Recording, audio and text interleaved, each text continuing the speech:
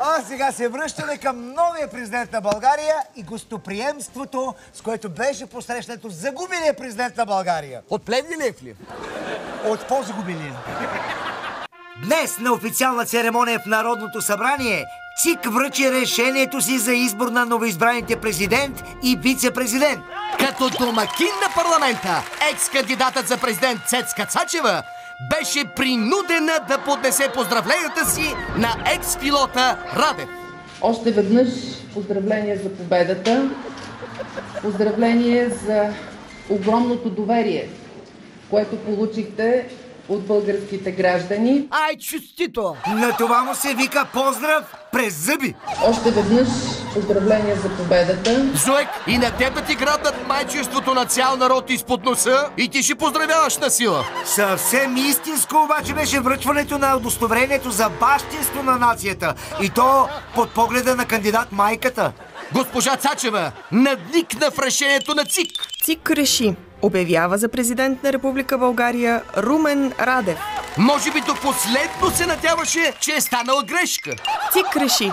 Обявява за президент на Република България Цецка Цачева. Да, ама не. А доаена на БСП Стефан Данаилов също не се стърпя и надникна в решението на ЦИК. И сякаш не вярваше на очите си, че столетницата най-после е спечелила избори. Не е сигурно. ЦИК реши. Обявява за президент на Република България Румен Радев плюс БСП. Браво, другари! А какво е една победа без шампанско?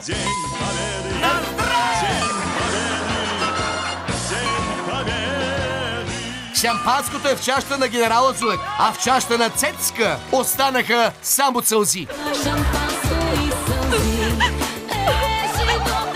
След първото чукване, победителя облетя залата за почетен кръг, след което се върна за втора на здрави с Цецка, като на балотаж. Е честито на новия президент и да знае, че от контролната кула диспетчерките Нинова и Йотова много внимателно ще следят полетът му. Единственото по-лошо от това да си на второ място е да водиш церемонията по награждаването на първия.